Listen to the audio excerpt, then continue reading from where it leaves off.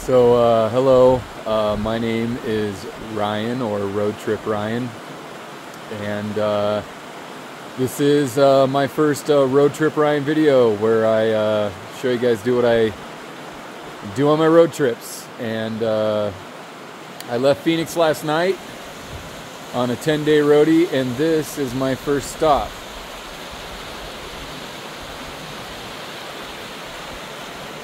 We're gonna look for some Bonneville cutthroat.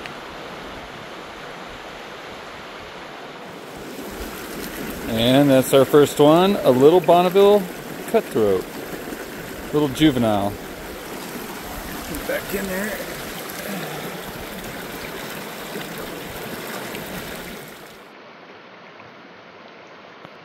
Alright, so I've caught a few already. One of the good things about small streams is uh, camouflage. You know what I mean? Spooky trout, small confined areas. They can see you. I've already busted a couple little ones, spooked a few others. But uh, hoping to get into something right here. Alright, there's a better one. So, these bonnies are really aggressive and they will hop out of your net if you don't watch them.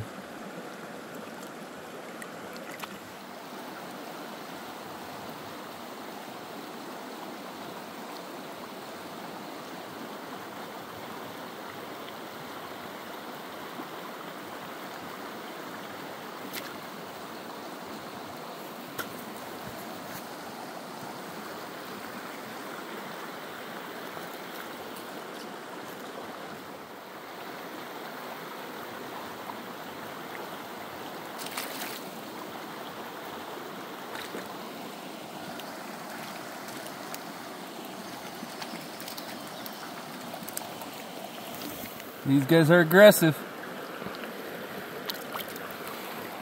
They're hiding out right in those branches. Knocked out about four out of there. It's beautiful canyon. Been coming here for years. All right. These bonnies are beautiful. They got some different colors. Maybe look at this guy. Uh, Big gold cheeks. Look at those cheeks. All the way down.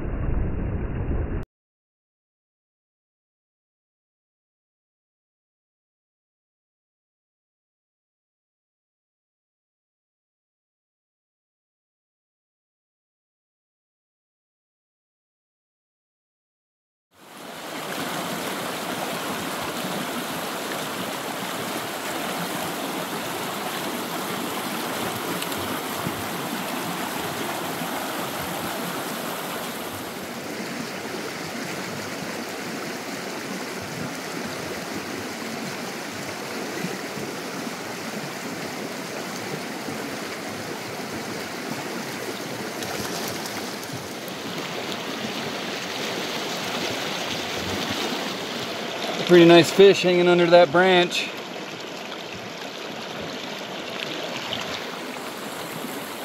Pulled him out of there with about that much leader.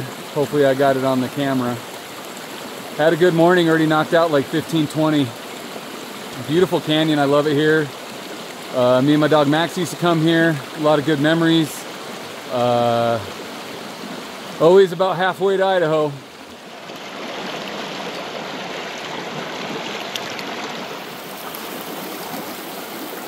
All right, so how do I catch these fish?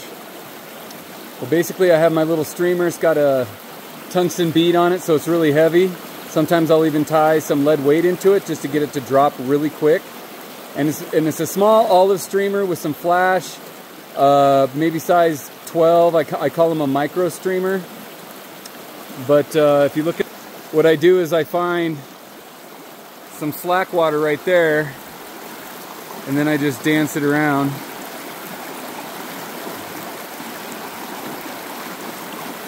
Oh, there was a one. There was a strike.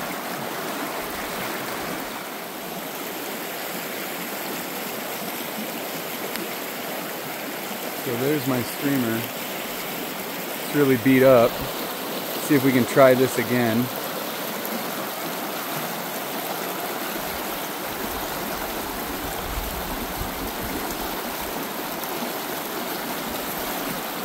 Oop, almost.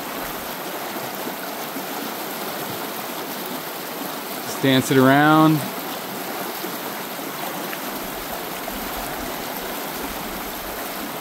Oh, missing them. Trying to record and fish at the same time is hard. Just keep dancing them.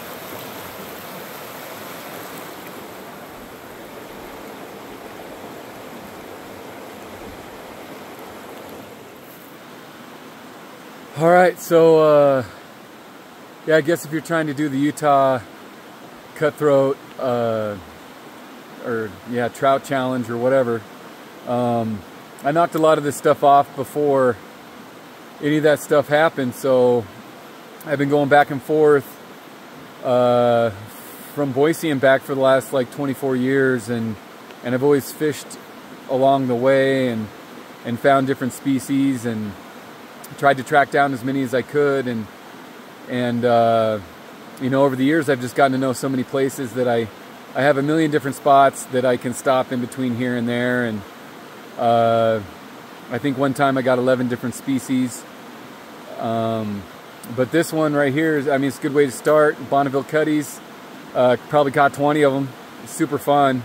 Uh, they'll take just about anything. Uh, you know, come and give it a try right here in the middle of Utah, Clear Creek, Fremont State Park.